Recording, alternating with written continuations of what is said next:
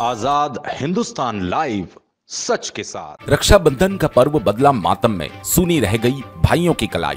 बाज़ार से भाइयों के लिए राखी लेकर जा रही बहन को ट्रक ने रौंदा, हुई मौत। महेश्वर खलघाट फोरलेन के ग्राम बाकानेर में सोमवार शाम करीब छह बजे एक ट्रक ने बाइक सवार दंपति को रौंद दिया। सड़क हादसे में महिला की मौके पर ही दर्दनाक मौत हो गई। जहाँ घर में रक्षाबंधन पर्व को लेकर खुशियों का माहौल था, वहीं घटना की जानकारी लगते ही घर में मातम सा छा गया।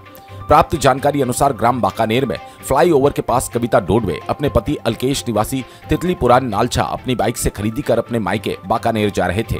तभी अज्ञात वाहन ने दंपति को टक्कर मार दी। हादसे में महिला को रौन दिया, जिससे महिला की मौके पर ही दर्दनाक मौत हो गई।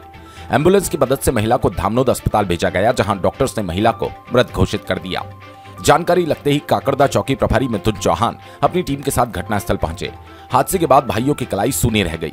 घर में खुशियों का माहौल मातम में बदल गया। महेश्वर जिला खरगोन से सुनील गाड़गे की रिपोर्ट। घाट मग यासी लाया घरी उठाई नाम खाली ग- काय बतावा तुमका काय हादसा हुई को राखी लेना गुजरी गया था दो जो अच्छा फिर? तो मैं इसी तरह राखी लेने जाता था बच्चा। हाँ फिर? रास्ता में यो सो यो अब काय बतावा काई भी पूछ पूछी रोज. हो कि भाई देखियो कि नाम तो घर से आया दौड़ता भागता रोड पर पड़ी थी तो उठाई ना अरे बगल करेली पड़ी थी तो उठाई ना एंबुलेंस मना की काई का बता? ट्रक चढ़ी गई। अब ट्रक चढ़ी कि बस चढ़ी कौन ये देखियो माँ?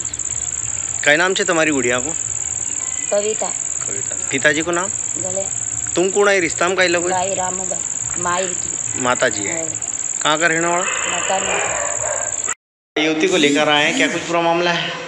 जी अभी यहाँ पे कुछ लोग एक कविता नाम की युवती को लाया गया है जिनका बताया जा रहा है कि रोड ट्रैफ़िक एक्सीडेंट हुआ है और अभी उनका पार्थिव शरीर पीएम रूम में हमने रखवा दिया है और आगे की कार्रवाई के लिए पुलिस- को सूचना दे दी गई है। सर आपका शुभ नाम और पता जी मेरा शुभ नाम डॉक्टर कार्तिक सिंह चौहान मैं यहाँ सी सी धामनोद में एमओ हूँ।